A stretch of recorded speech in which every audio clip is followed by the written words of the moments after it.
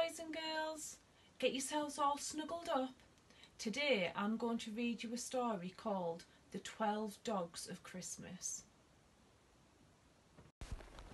The Twelve Dogs of Christmas.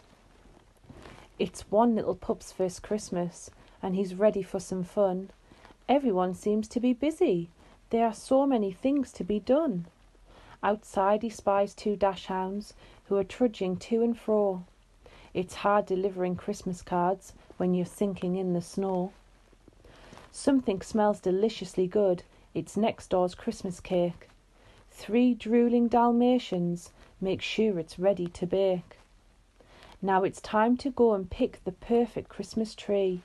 Four French bulldogs try to help, but will they all agree? The bakery in the high street is filled with scrumptious things. Five golden retrievers yearn for five golden rings. Down at the deli, Christmas treats are piled upon the shelves. Six Scotties just can't wait and snaffle a feast for themselves. Christmas tree in every house sparkle with twinkling light.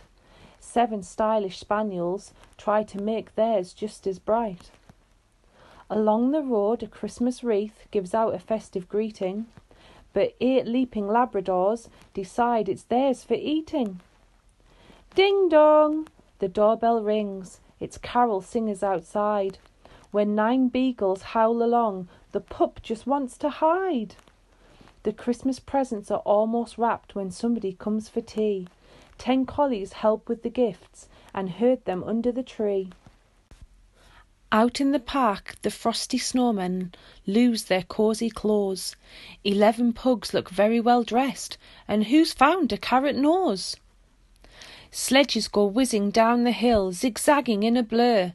Twelve chihuahuas slide and spin in a tangle of snowy fur. It's Christmas Eve, and everyone's ready to watch the children's play. But reindeer dogs and elves run riot, and someone jumps on the sleigh. Peace and quiet descends at last. This pup has had a ball.